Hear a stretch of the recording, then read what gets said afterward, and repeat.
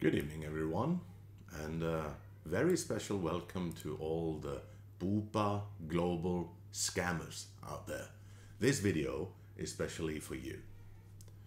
I'm recording this video to express my deep dissatisfaction with your company's services.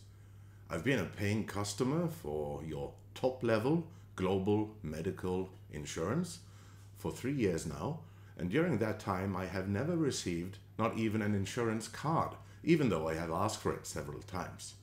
This is unacceptable. If I were to be involved in an uh, accident, how would the medical professionals know about my insurance coverage without a physical card to prove for it? This lack of basic communication is unacceptable for a company that claims to be a leader in the insurance industry. Furthermore, when I logged into my page on your website, Bupa members, I discovered that under the detailed plans, uh, uh, or detailed description of plans and benefits, it states that I have a coverage for newborn care, lifetime. Well, my wife and I had a son born in August 22. Unfortunately, he was born with some complications. So he spent the first eight days of his life in the, hosp- in the hospital under continuous care as his lungs were not fully developed at birth.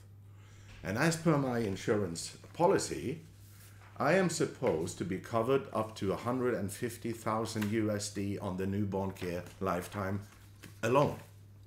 So I filed a detailed claim with all the costs I had to pay to the private hospital, especially for my newborn son. I did not hear back from Bupa Medical for months. And when I finally did, they rejected my claim, stating that the newborn care is not included in my plan, which clearly it is. This is unacceptable, as it directly contradicts what is stated in my plan on your very website after logging in with my credentials.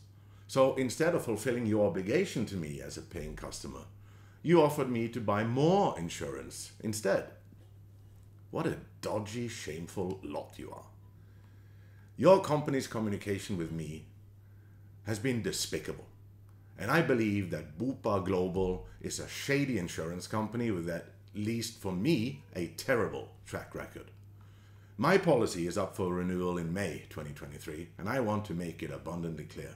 I am not at all interested in renewing it, nor am I recommending your company to anyone I know. In fact, I plan to warn people about your company's poor practices on social media. And this video is a start. So, to anyone out there looking for a uh, insurance company